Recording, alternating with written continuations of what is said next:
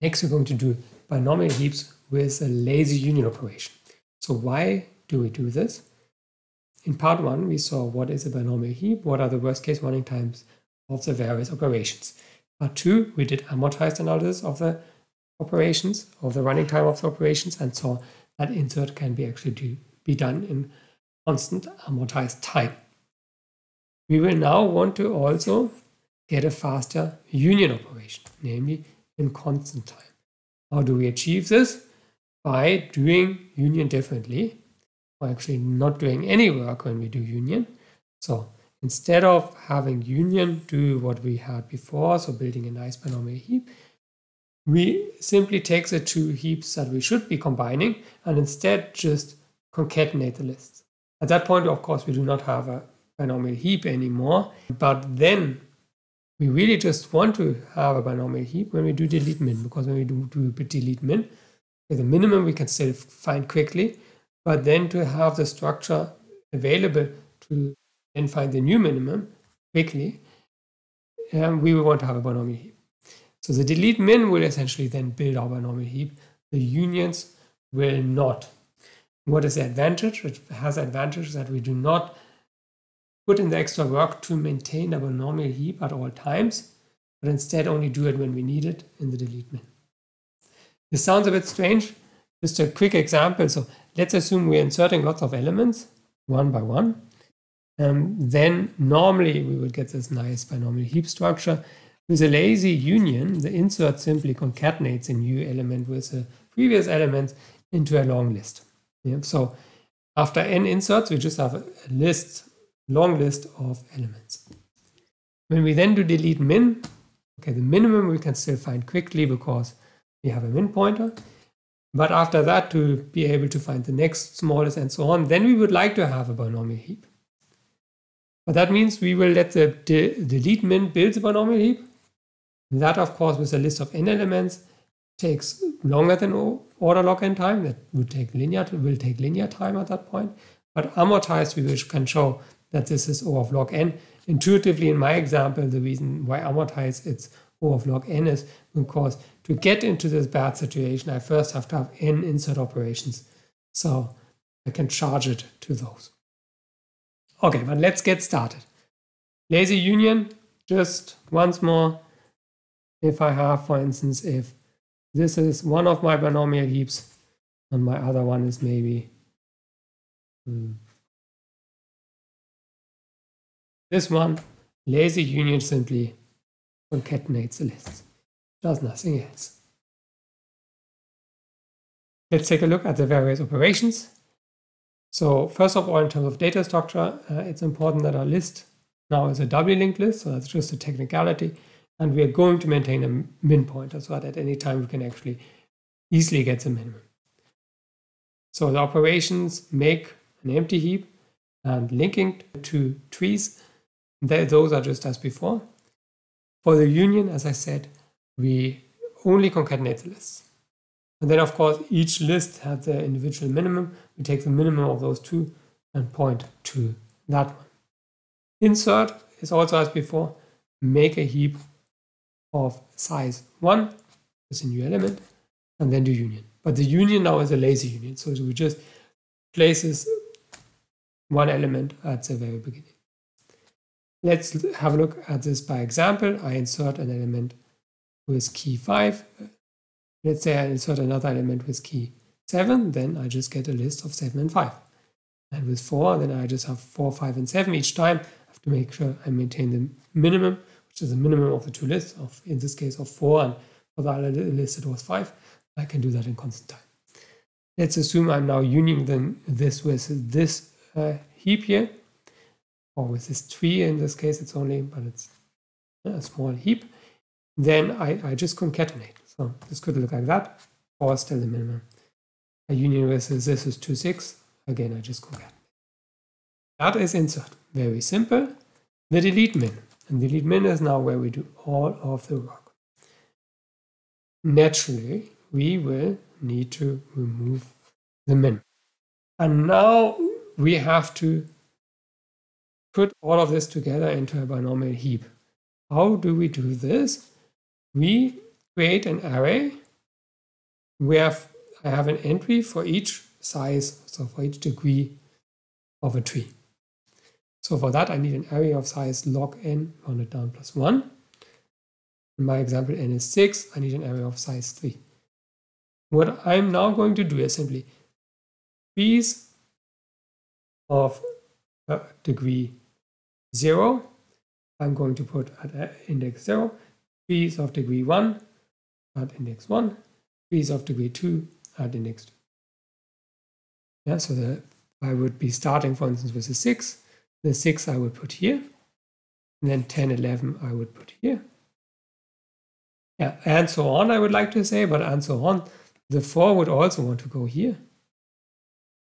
But then at this point, as soon as I have two elements, I place them to the next position. And if there's already something there, again.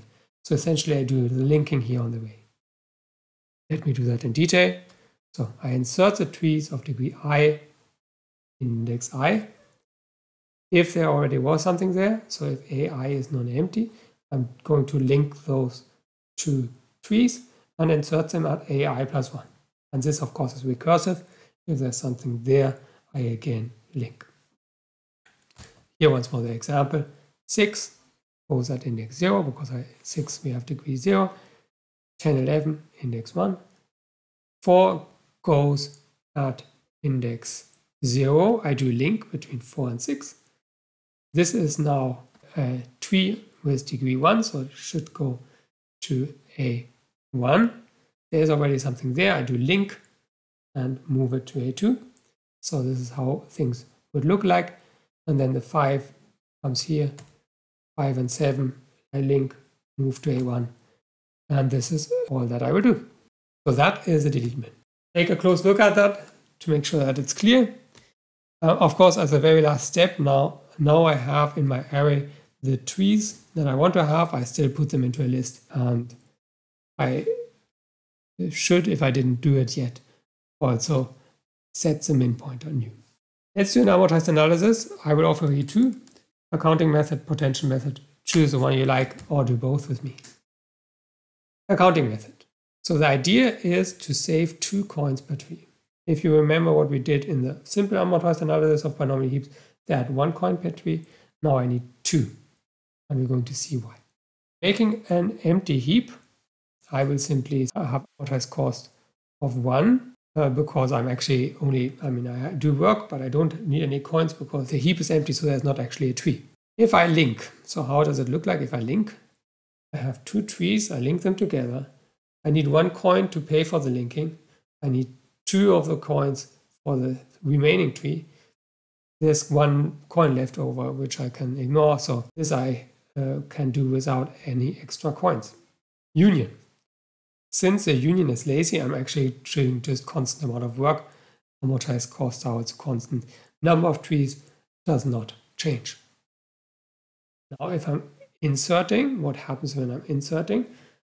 I have work to do to make my new tree. And I need two coins for that tree. That already gives me three for the just making a, a heap of size with one element. Then I will be calling union. That also costs me one. And okay, so it says zero for linking. This is actually true, but also irrelevant because when we insert, we don't actually link. We just concatenate. So far, so good. The actual works of work and also the actual work for the amortized analysis obviously happens in the delete min. Now let's look at the delete min, and this is where the actual work happens. So the first step in the delete min is actually removing a min. I get the children of, of the minimum. So the minimum is a root of a tree. It has children. Those come into my list of trees. Um, and those are trees that so far didn't have coins. So I have to give each of those two coins. But the good thing is, I mean, this is was a binomial tree, whatever the minimum was the root of. So it has at most log n children. So I pay two log n coins to those children. Now, actual cost of deleting the minimum, um, I can bound in terms of number of trees overall at the very beginning. So this is the trees that I had in the list previously, and plus the trees that are the children of the minimum, plus number of linking operations. Well, because what I'm doing is I'm going through the list of trees, so that's order t, I'm throwing it into the array, and then whenever I add a non-empty entry, I have to do a linking. So I have extra work then, and that can of course propagate. This gives me at most L in terms of the running time. Have T plus L, and then there's an overhead of O of log N, which covers things like setting the min pointer again, also going from the array back to actual binomial heap, so a list. The array has size log n, the list, I can generate the list in order log n time. So that's all in this O of log term. So that's the actual running time. And now I need to define an amortized running time that is able to cover for the actual cost, taking into account that we can use coins that are freed up. Because there is actually coins that we can use. If we have L links, there are two L coins that are freed up because those trees I'm taking it out. So I have two L coins to distribute. And this actually helps us in the following way. If you look at this T plus L, we can write it as t minus L plus 2L. And 2t minus L plus 2L is t plus. Why does that help us? Because those 2L I can cover by the coins that are freed up. I only have to worry about this t minus L. So how big could t minus L be? So t minus L is actually the same as the number of trees at the very end of the delete min. Yeah, because we start with t trees, with every linking operation we remove a tree. So at the end, we have t minus L. t minus L is the number of trees at the end, but I know at the end I have a binomial heap, and this binomial heap has log n, um, most log n plus 1 binomial trees. So that means that this t minus L is actually bounded by log n plus 1. What does that mean? Okay, so let's write it again. We have 2L plus log n plus 1 as the um, actual running time.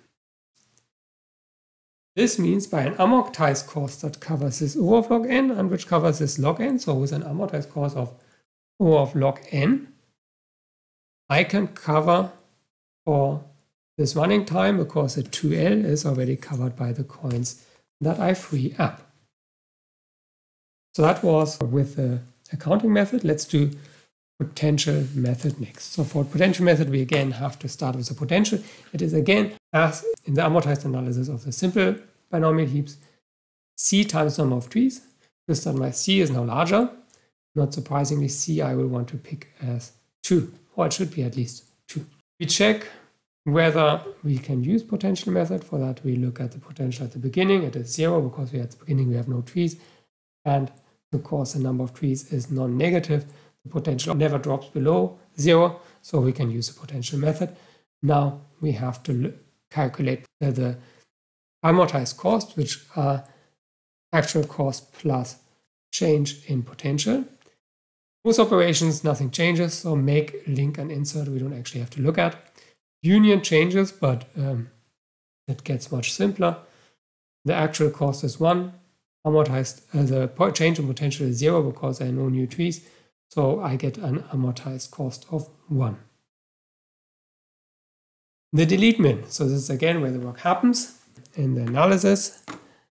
So the actual cost I can put together um, t plus l. This is the time to add the trees to the array and while that also linking. So I go through all the trees.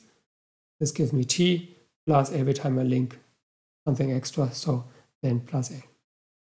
And all other costs I can bound by O of log n. So meaning at the beginning I remove the minimum, then I get the children, the children I have at most log n children, I will have to put those also into the list of my trees, and I have my T trees. Then I do the algorithm, this is where the T plus L comes in, then I need to make sure that at the end I again know the minimum. I need to, from the array transition to the list of binomial trees as a heap, all of that uh, falls into this O of n. But I have t plus L plus O of log n as actual cost.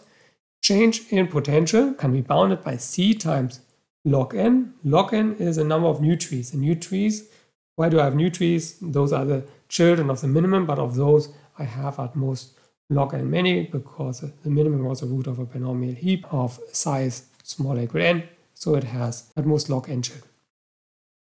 So the new trees is, gives me c times log n, and then every link linking operation, link operation gives me removes a tree, so I have minus c times n. Adding up amortized cost, ci plus change in potential, actual cost plus change in potential. This is t plus L, the O of log n I have here. So the O log n also absorbs the c times log n factor here, so I have, don't have to worry about it. But I have the t plus L left here and the minus c times L here. But what we see here is this can be bounded by t, I still have that, and then minus L. So plus L minus c times L. If c is at least 2, I can bound by t minus L and the O of log n stays. And now I can argue that this is actually bounded by O of log n because the t minus L is the number of trees at the end after running the delete min operation, but at the end I have a valid binomial heap. It has only log n many trees, so t minus L is bounded by log n. And again, why is that the case? Because t is the number of trees at the beginning, L is the number of trees that I'm removing, so the number of trees at the end, t minus n. And that is what we wanted to show. So all amortized costs are as claimed. We can fill this table. What we've seen is we've seen all these operations. Their worst case running time, simple amortized analysis, amortized analysis with lazy union.